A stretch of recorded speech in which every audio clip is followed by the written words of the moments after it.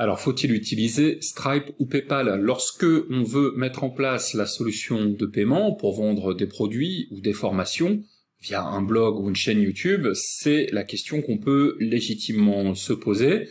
C'est une question d'ailleurs qu'on m'a posée en commentaire. On m'a tout simplement demandé euh, comment choisir entre ces deux solutions, qui sont les solutions leaders sur le marché, et comment les intégrer avec un système de paiement. Donc euh, je vais vous expliquer la solution euh, que j'ai choisie, c'est pas la seule, en tout cas elle fonctionne très bien, elle a l'avantage de la fiabilité et de la simplicité. On va parler d'une façon générale du paiement lorsque on veut vendre des formations en ligne. Donc imaginez, vous avez votre blog, votre chaîne YouTube, vous avez une audience qui vous suit, et puis vous avez créé une formation et vous souhaitez la vendre.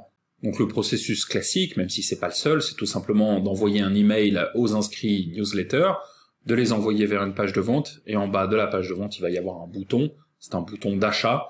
Ce bouton d'achat va euh, permettre aux gens d'accéder à un formulaire de commande, un formulaire de paiement. il est bien évident que le paiement doit être sécurisé. Donc quand on se retrouve dans cette situation, euh, on pourrait croire que le plus simple c'est d'appeler sa banque et d'utiliser les solutions de paiement que proposent les banques classiques. Et en effet, si vous faites souvent des achats en ligne, vous pouvez voir que les grandes enseignes bancaires proposent des solutions en ligne pour les e-commerçants.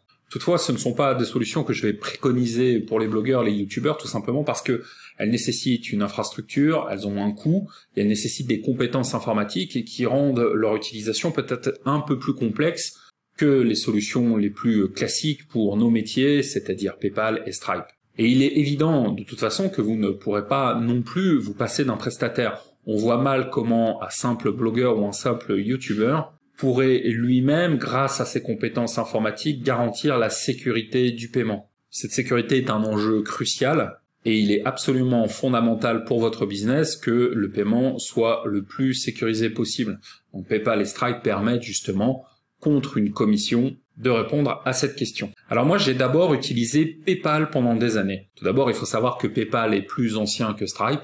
Alors évidemment ce ne sont pas les seules solutions sur le marché, il y en a d'autres, tout checkout, PaySide Cash, etc., etc. Mais PayPal est historiquement l'acteur majeur. PayPal a plusieurs avantages et selon moi quelques inconvénients. L'avantage numéro un de PayPal, c'est que c'est une marque qui est connue et qui inspire confiance pour les achats en ligne. Les gens savent que lorsqu'ils font des achats sur PayPal, le risque de fraude est quasiment à zéro.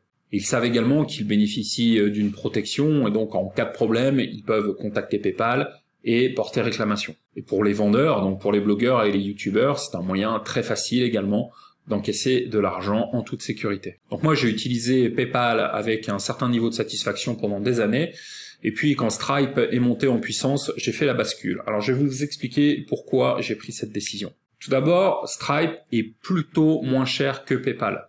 À l'heure où j'enregistre cette vidéo, le tarif de base de Stripe, c'est 1,4% de commission pour les ventes faites avec des cartes européennes, plus 25 centimes. Et c'est 2,9% pour les cartes non européennes, plus 25 centimes par transaction. Donc effectivement, cela a un coût, mais c'est un coût qui est inférieur à celui de PayPal.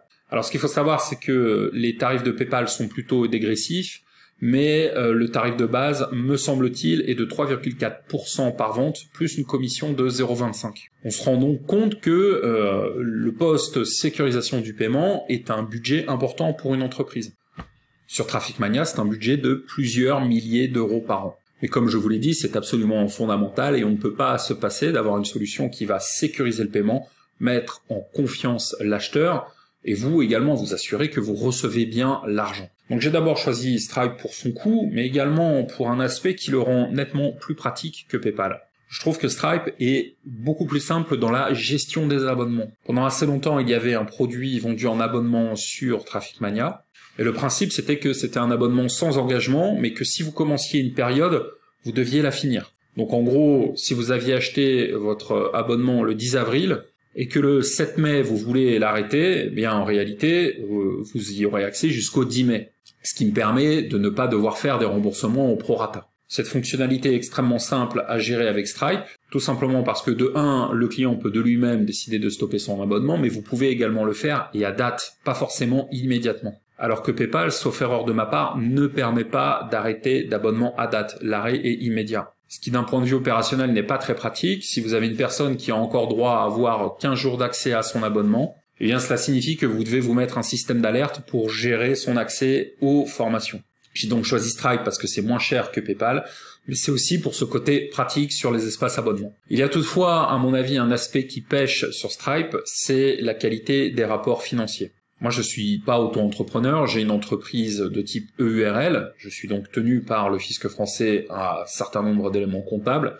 Chaque mois, je dois donner euh, un certain nombre de rapports à mon comptable qui va s'occuper des différentes déclarations. Et il faut bien reconnaître que les extractions et les rapports financiers de PayPal sont beaucoup plus faciles et beaucoup plus pratiques que ceux de Stripe. En plus de ça, Stripe a la mauvaise habitude de faire évoluer ses écrans assez régulièrement. Et par exemple, le rapport mensuel qui était si pratique et que j'utilisais mensuellement a évolué il y a environ un an de ça. Et malheureusement, ce que Stripe propose aujourd'hui est un rapport qui n'a pas le côté pratique qu'il avait auparavant.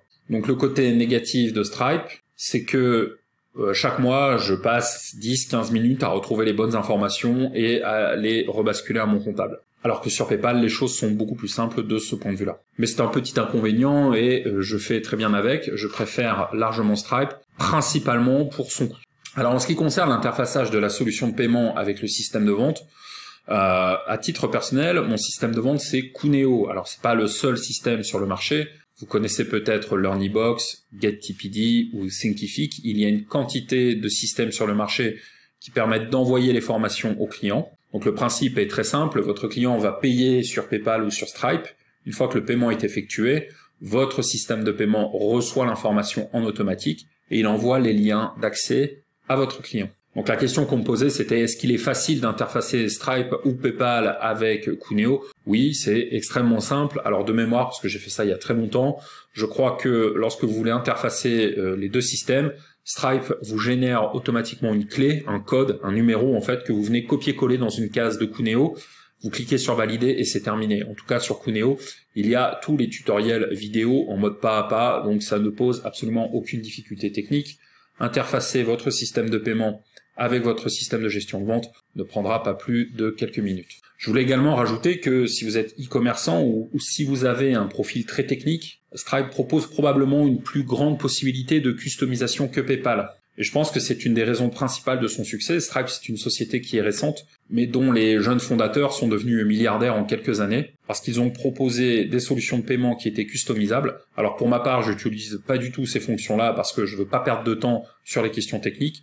Je prends Stripe dans sa version brute de décoffrage, ça fonctionne extrêmement bien, et c'est donc pour cette raison que je vous recommande plutôt cette solution même si honnêtement, vous n'aurez aucun souci à travailler avec PayPal. Voilà, juste entre parenthèses, il m'est arrivé pendant ma phase de test d'essayer autre chose, une solution qui s'appelle Cash que je n'ai pas du tout aimé, donc j'ai très très vite arrêté de l'utiliser, je trouvais ça complètement incompréhensible, et je trouvais que le support n'était pas à la hauteur en plus. Donc euh, mon système de paiement, celui que je vous recommande, c'est Stripe plus Cuneo. En réalité, c'est pas le seul. Maintenant, c'est une solution, comme je vous l'ai dit en introduction, qui est simple, qui est fiable, voilà, je trouve que c'est de très bons outils et en choisissant ces options-là, vous ne serez pas déçus. Je conclus la vidéo avec mon appel à l'action habituel. Si vous voulez recevoir une astuce marketing quotidienne sur votre boîte mail, inscrivez-vous à la newsletter. Le lien est dans la description.